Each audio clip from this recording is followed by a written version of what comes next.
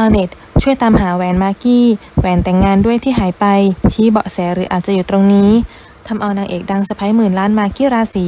นางมีติดเก้าอี้เลยล่ะค่ะ เพราะล่าสุด 7 ตุลาคมเธอได้ออกมาโพสต์ข้อความลงในอินสตาแกรมประกาศตามหาแหวนที่ป๊อกพัสรกร ใช้ขอแต่งงานหาย โดยโพสต์นี้มากกี้ได้เขียนว่าวันที่ 26 กันยายนที่ผ่านมา กี้ได้ทำแหวนที่พี่ป๊อกขอแต่งงานหล่นหายที่โรบินสันไลฟ์สไตล์ราชพฤกษ์เวลา 17นาฬิกาตรงที่จ่ายเงินท็อปส์กี้พยายามตามหาเองอยู่ 2 อาทิตย์แล้ว แต่ก็ยังหาไม่เจอสักที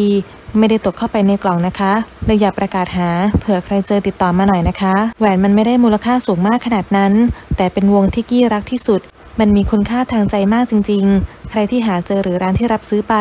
ถ้านำมาคืนกี้ มีเงินรางวัลตอบแทนน้ำใจให้นะคะ ขอบคุณค่ะ ท่ามกลางคนบันเทิงและแฟนคลับ ต่างบอกขอให้เจอไวๆก็มีชาวเน็ตชี้บอดแสเสนอความคิด อาจจะอยู่ที่นี่หรือเปล่าโดยบอกว่า